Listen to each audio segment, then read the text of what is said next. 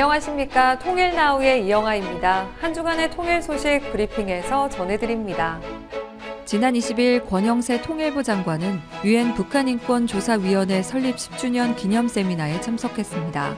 권영세 장관은 정부는 북한 인권을 북핵 못지않은 중요한 과제로 설정하고 북한 인권 대사 임명, 유엔 북한 인권 결의 공동 제안국 참여 등 가능한 모든 방안들을 강구하여 실천하고 있다고 말했습니다. 특히 북한 인권법의 취지를 살리기 위해 북한 인권증진위원회를 구성해 북한 인권재단이 출범할 때까지 그 기능과 역할을 대신할 계획이라고 전했습니다. 끝으로 우리의 목표는 북한 주민들이 일상에서 인간으로서의 마땅한 권리를 누리며 자유롭고 풍요로운 삶을 일궈나가게 하는 것이고 그것이 바로 우리가 꿈꾸는 통일 미래라고 강조했습니다. 권영세 통일부 장관은 지난 17일 남북 경협 기업 및 단체 대표자들과 간담회를 갖고 애로사항을 청취했습니다. 이 자리에는 박정호 대북 경협 중단 손실 보상법 비상대책위원회 위원장과 최우식 금강산 투자기업협회 회장 등 8개 단체 대표들이 참석했습니다. 통일부는 앞으로도 경협 기업인들과 지속적으로 소통하며 좋은 정책 대안을 찾을 계획입니다.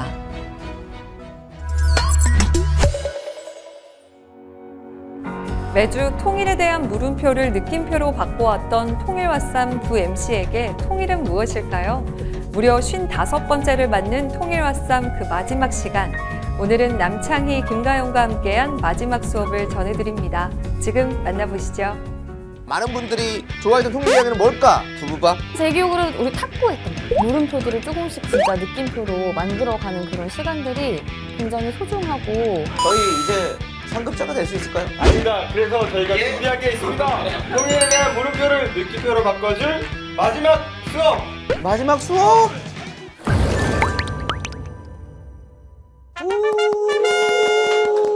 그동안 물음표를 느낌표로 바꾸기 위해서 열심히 달려오셨던 거잖아요. 그걸 한번 정의해 보려고, 정리해 보려고. 평소에 통일 교육이 뭐냐 이렇게 물어보면 법으로 정의된 것도 있는데 저는 그렇게 그냥 간단히 말씀드려요. 크게 세 가지를 하는 거다. 첫 번째는 통일을 왜 해야 되는지 사실은 통일을 왜 해야 되는지에 대한 생각이 정리가 안 되면 그 다음으로 못 가는 거 맞는 거 아닌가요? 맞아요. 그래서 이제 통일이 왜 필요한지에 대한 설명이 어느 정도 되고 난 다음에 두 번째는 그럼 통일의 상대방인 북한, 북한에 대해서 한번 알아보자. 이런 것이고 마지막 세 번째는 이제 상대방도 알았으니까 통일을 어떻게 하면 할 수 있을까? 이런 얘기를 하는 게 저는 통일 교육이라고 생각하거든요. 이 세 가지 틀 안에 다 있는 것 같고 제가 봤던 통일 왓쌈 프로도 이 세 가지에 관계된 게 다 있었던 것 같아요. 이 프로그램 안에서 아마 예고편 때부터 두 분이 통일에 대한 물음표를 갖고 있다는 말씀을 하셨잖아요. 맞아요. 음, 두 분도 그렇고 특히 요즘 많은 한국 사람들 저는 MZ 네. 세대만 물음표가 있다고 생각지 않거든요. 네. 그건 왜 그럴까요? 어, 제 생각에는 제가 피부로 느끼기에는 어, 왜? 이게 지금 막 살기가 사실 힘들잖아요. 뭔가 굳이 왜 내가 통일에 대해서 생각을 해야 될까? 그러니까 우선순위에서 1순위가 아닌 네. 거죠. 밀리는 거죠. 취업, 그쵸. 결혼, 연애, 그럼요. 출산, 집 마련. 아 그리고 음. 분단이 된 지가 너무 오래된 것 같아요. 자꾸 이제는 무뎌지고 음. 예 지나버리는 것 같은. 맞아요. 예. 요즘 젊은이들이 돈이나 취업이나 직장이나 이런 미래에 대한 불안이 많으니까 음. 통일이 되면 그러니까 어떻게 보면 미래 시점에서 일어난 일들을 자꾸 상상해 보라 그러고 그걸 통해서 통일의 이유를 좀 설득해 보려고 하는 게 기존의 방법들이 많았었는데 네. 두 분은 네. 이 촬영하기 직전까지 저처럼 재밌는 도전 만날 거라고 생각하셨어요? 아니요. 1도. 네. 예. 그리고 생각해 보세요. 결혼이라는 게 아 이 남자랑 결혼하면 뭐 이 여자랑 결혼하면 그래서 난 집이 되게 넓은 데서 행복하게 살 거야 이런 생각으로 합니까? 오늘 밤 이거를 헤어지기 싫어서 합니까? 오늘 밤 헤어지기 네. 싫어서. 그렇죠. 네. 그것도 다 뭡니까? 미래에 대한 얘기를 주로 하다 보면 사람이 움직일 것이라고 생각하지만 과거의 기억 또는 현재의 힘겨움, 즐거움 이런 것 때문에 행동하는 경우가 많아요. 네. 근데 우리 통일 얘기할 때마다 아 생각해봐라, 우린 세계 8등의 경제 대국이 될 거다. 맞아. 어, 돈한 돈 많이 안 든다 그런 얘기를 하다 보니까 사람들이 돈 떨어진 얘기 같은 음, 맞아요. 느낌이 들고 또 불편한 건 어떤 거예요? 어, 국방비 일단 많이 쓴다는 거 너무도 잘 알고 있지만 음. 말라리아 모기가 남쪽에 가서 물고 북한으로 도망가면 못 잡잖아요 저희가 근데 예전에 남북이 공동 방역을 했거든요 관계 좋을 때는 그러면 말라리아 환자가 줄어들었었어요 음. 네. 또 불안한 부모님들 마음도 좀 편하게 해줄 수 있고 그런 생각에 남북이 화해하고 협력하고 통일로 간다는 거는 음. 현재에 큰 수혜를 주는 거예요 네. 미래의 이익을 주는 게 아니라. 그렇죠. 저는. 그걸 많이 얘기해야 된다고 생각합니다. 네, 예. 북한에 대한 이해는 어떻게 할 것이냐. 어, 맞아요. 그런데 저는 있는 그대로 그 통일 아싸미 해왔듯이 네. 예, 북한 사람들이 사는 모습 고민하는 거, 또 북한 이탈 주민의 입을 통해서라도 그렇게 들어보고 알려고 하는 거. 네. 그두 분이 퀴즈 많이 풀 때 되게 좋았어요. 오. 관심을 유발하게 하는 데는 되게 중요한 수단인 것 같아요. 퀴즈가. 어. 이 시점에서 이제 마지막으로 가야겠죠. 통일교육에 남겨져 있는 네. 통일은 어떻게 해야 될까? 제가 질문 하나만 딱 드릴게요. 오. 빨리 하는 게 좋을까요? 천천히 하는 게 좋을까요? 예. 아, 마음 가셨으면 빨리 했으면 좋겠죠. 마음 같으면 빨리 했으면 좋겠죠. 예. 아영 씨는요? 빨, 빠르게 하는데 응. 느리기보다는 좀 침착하게 해야 어, 될것 침착하게. 같다. 어. 그렇죠. 네, 왜냐면은 이게 뭔가 단편적인 이슈가 아니잖아요. 많, 고려해야 될 맞습니다. 것들이 너무 많기 때문에 속도는 빠르게 하되 어떤 마음가짐은 침착하게 해야 되지 않나. 마치 축구처럼. 그렇죠. 맞습니다. 제가 아, 자주 쓰는 표현이 있는데요. 통일은 잘 닦인 고속도로를 빠른 속도로 달려가는 게 아니라 오솔길. 오솔길을 남북이 함께 조용히 걸어가는 거다. 어, 마음이 급해요. 급하긴 하죠. 아까 말한 불안. 우리 그동안 너무 오래 싸웠잖아요. 맞아요. 왜냐면 저희도 뭐 뽀로로 이야기를 하던지 아니면은 연구나 교류 같은 것도 굉장히 많았잖아요. 살림에 대한 이야기도 그렇죠. 해- 하고 그럴 때는 이게 마음이 조금 편해지다가도 다시 불편함이 들고 네, 하더라고요. 불안해지고. 맞습니다. 네네. 시지푸스의 형벌. 돌덩이 굴러 올리다가 어휴. 뚜루루. 맞아요. 올려놓을 것 같으면 뚜루루. 계속 맞아, 가요. 맞아, 맞아. 너무 급하게 가려고 하다 보면 어. 큰일도 생기고 무엇보다 적대감이라고 하는 거 아까 말한 대로 마음속에 분노가 있잖아요. 근데 그게 하루아침에 풀리진 않을 거잖아요. 사람이라는 게 사람이 결국 어울려야 통일이죠. 제도를 하나로 만든다고 완성되는 게 아니잖아요. 네. 그 시간이 너무 많이 걸릴 거예요. 그렇기 때문에 성급하게 가면 안 된다. 네. 그래서 제가 천천히라는 말씀을 드렸던 거예요. 급하게 가고 싶은 마음은 있지만 침착하게 통일 방안에도 당장 하나의 국가를 만드는 게 아니라 협력과 화해를 한 다음에 연합이라는 걸 만들자. 국가 국가가 서로를 인정한 태- 상태에서 국경을 비자가 없이 통과하는 수준으로 만드는 거예요. 유럽처럼. 그러니까 남북도 그런 관계로 오래 살아보고 그때 오래 살았던 친구들이 나이를 먹고 어른들이 되고 했을 때 어, 굳이 우리가 두 개 국가로 살 필요 있어?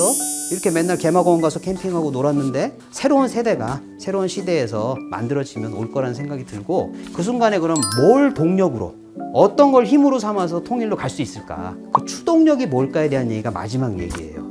그 추동력은 우리 그 통일아싸움 MC 분들이 이미 프로그램에서 많이 음. 이, 보여줬어요. 드러내줬고. 어, 그래요? 뭐지? 저희가? 네, 드러내줬어요. 힌트는 어, 격큰남, 어. 저렴할 큰 사전, 남북 탁구 대결 이런 에피소드들은 다 뭡니까? 기억에 대한 얘기죠. 네. 네. 네네. 기억. 네. 어, 저렴할 큰 사전은 우리가 힘들었던 기억을 어찌 보면 되살려줘요. 일제 시대 때 우리말을 뺏겨서 말모이란 영화 있죠. 네. 그 영화에서 네. 조선말 함께 만들기 위해서 막 쓰- 고생했던 맞아, 거. 맞아. 그 제2의 맞아. 말모이 작전이라고 그러잖아요. 네. 결의말 큰 맞아. 사전 만드는 맞아요, 걸. 맞아요. 네. 그다음에 탁구는 좋았던 기억이죠. 아 이렇게 남북 단일팀 만들었었지 않냐. 맞아. 그렇죠. 그 모든 기억들이 저는 남북이 공유하고 있는 기억들이잖아요. 음. 그런 식으로 기억을 추동력 삼아서 달려가다 보면 천천히 오솔길을 걸으면서 함께 그 기억을 나누다 보면 이제 어렵지만 하나의 국가를 만들어 보자. 어렵고 힘든 주제지만 결국 시지푸스는 돌을 끝내 올려낼 거다. 아. 그래서 저는 시지푸스라고 생각 안 해요 스스로를. 저는 이 무거운 돌을 끝까지 올릴 수 있다고 생각합니다. 이야. 명- 그날이 오는 날까지 이 우리 통일한 싸움 MC로 인연이 맺어졌던 두 분과 함께 네. 계속 길을 걷고 싶고요. 아. 네. 이만 강의를 마치겠습니다. 와. 네, 아 우리 네. 교수님과 이 수업까지 듣고 나니까 진짜 네. 상급자가 된 것 같습니다. 맞아요. 그리고 오늘에서야 네. 또 느낌표가 더 진해진 어, 완전체가 된 그런 느낌이었어요. 그렇습니다. 네. 자, 사실 네. 오늘 마지막 수업이라고 네, 정했잖아요. 맞아요. 사실 저희가 오늘이 마지막 아. 촬영입니다. 와, 어떻게 해요? 제가 못 보는데. 아까 전에 교수님께서 기억에 대한 이야기를 네. 해주셨는데 저도 우리 구독자분들께 저희 통일 맛쌈 예. 잊지 마시고 기억해줘 라고 말씀드리고 싶네요. 네. 끝까지 부끄러워하시네요. 정말 챔피언이에요, 가영 씨. 저는 뭐 그렇습니다. 사실은 이 프로그램을 진행하면서 평생 만나지 못할 것 같은 분들도 많이 만났고 맞아요. 또 가보지 못할 곳도 정말 많이 가봤고 맞아요. 그래서 정말 통일에 대해 새로운 것들을 많이 알게 된 그런 시간이었던 것 같아요. 그래서 맞습니다. 너무 뿌듯합니다. 저도 같은 마음인 것 같아요. 사실 통일 왓쌈이 아니었더라면은 네. 생각해 보지 못했던 네. 것들에 대해서 저희가 많이 알아가는 그 시간들이 계속 스며 있을 것 같다라는 네. 생각이 들었습니다. 그리고 통일에 대해서 한 걸음 나아가는데 우리 통일 왓쌈이 어, 음, 많은 분들께 어, 많은 분들께 조금이나마 도움이 되었기를 네. 네. 한 번이라도 1분이라도 더 생각해 보는 시간을 가지신다면 또 저희가 저희의 몫을 한 게 아닐까라는 생각을 합니다. 강씨 저는 이런 생각을 합니다. 어떤 생각이요? 이 유튜브잖아요. 네. 유튜브는 영상이 계속 있잖아요. 그쵸? 우리가 사고만 안 치면 돼요. 그러니까 사고를 치게 되면 영상을 삭제할 수도 있습니다. 삭제되죠, 예, 그쵸? 그렇기 때문에 아니면 감사한 마음을 네. 담아서 준비한 게 있습니다. 어머, 어, 어머 무슨 막 뭐예요 이게? 아니, 어머 어머 어머 어머 이런 어머. 걸 또. 어, 여기 성함이 적혀 있네요. 네네. 아, 표창장. 오, 표창장? 무, 무료 표창. 방송인 남창희. 예. 귀하는 성실하고 모범적인 자세로 직무에 헌신하여 통일 업무 발전에 기여한 공이 크므로 이에 표창합니다. 통일부 장관 권영세. 아유. 오, 제가 이걸 감히 드려야 되거든요. 감사합니다. 아유. 네, 네.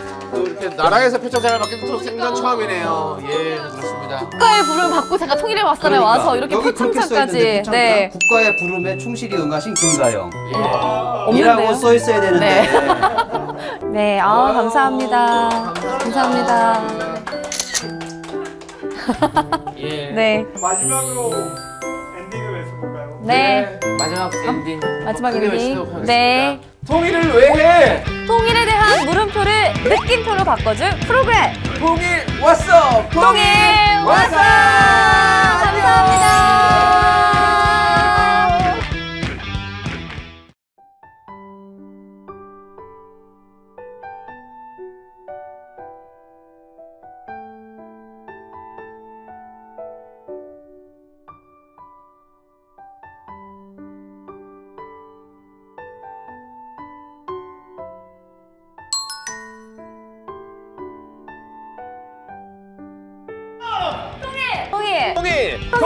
통일! 통일!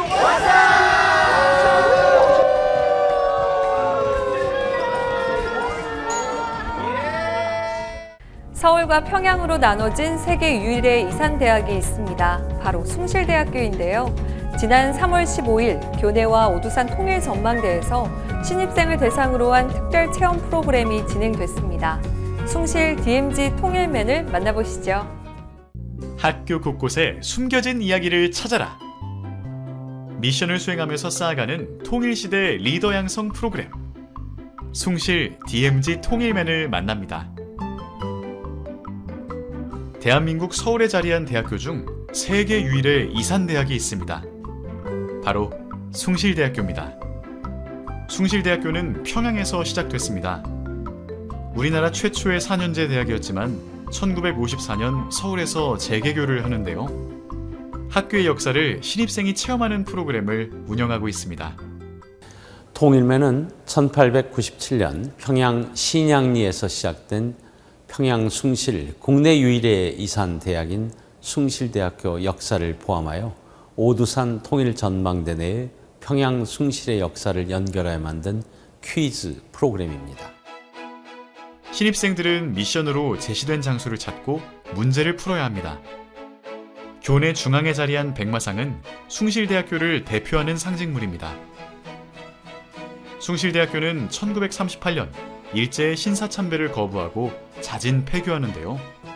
백마상은 서울에서 숭실대학교를 재건할 때까지 16년간의 공백을 표현하고 있습니다. 이 백마상의 의미에 대해서 알고 계세요? 저희가 처음 평양 숭실 개교한 시작점이고요. 중간에 끊겨진 게 신사 참배로 인해서 저희가 자진 폐교한 그 기간을 의미하고 다시 올라가는 게 저희 하- 서울, 서울 숭실대학교가 다시 개교한 백마상을 찾아 단체 사진을 찍고 도장을 받으면 미션 완료! 어, 네 맞습니다.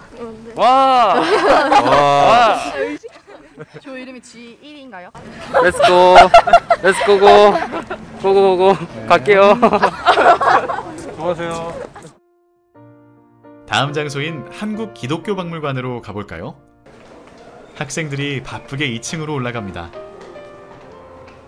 이곳은 100년이 넘는 숭실대학교의 역사가 담겨 있는 공간인데요. 일제 강점기 시기 선배와 졸업생들은 학교가 있던 평양을 중심으로 항일 독립운동에 앞장서 왔습니다. 네, 그 당시에는 태극기 같은 거 구하기도 힘들었고 이제 다른 거에서 들었을 때는 일장기 위에다가 그냥 이제 파란색 물감이나 이제 검은색 물감을 써가지고 이제 그 위에 덧대었다고 하는데 이것도 약간 그런 식으로 만들었지 않았을까 생각이 들었고 그리고 당시에 아마 감시 때문에 만들기 힘들었을 텐데 그래도 그 상황에서도 이렇게 되게 존경스럽다 생각합니다 저는. 미션은 오두산 통일전망대에서도 이어집니다. 전망대 입구에는 숭실대학교 졸업생이자 교수로 역임한 조만식 선생의 동상이 서 있습니다. 학생들이 보는 북한 땅은 앞에 있지만 갈 수 없는 땅입니다. 오늘 체험을 통해 북녘 고향을 그리는 실향민들, 이산 가족들의 마음을 헤아릴 수 있을까요?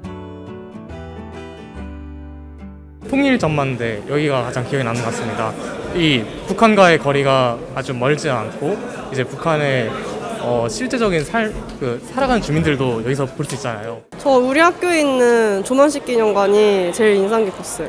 저희 학교에 이렇게 이 통일과 관련된 분이 계시다는 거가 약간 뜻깊었고 그거 그분의 이름을 딴 건물이 있다는 것도 신기했었어서 통일이 매우 어렵고 지난한 과정일 수 있겠지만 그럼에도 불구하고 미래 세대의 통일에 대한 구체적이고 현실적인 계획과 방향성은 매우 중요합니다.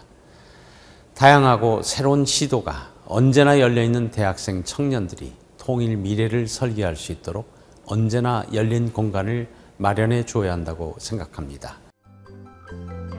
세계 유일의 이산대학에서 펼쳐진 통일 체험. 과거에서 현재로 이어지는 분단을 기억하고 통일 미래를 구상해 볼 수 있는 소중한 시간이 되었기를 바랍니다. 이상으로 통일 나우를 마칩니다. 시청해주신 여러분 고맙습니다.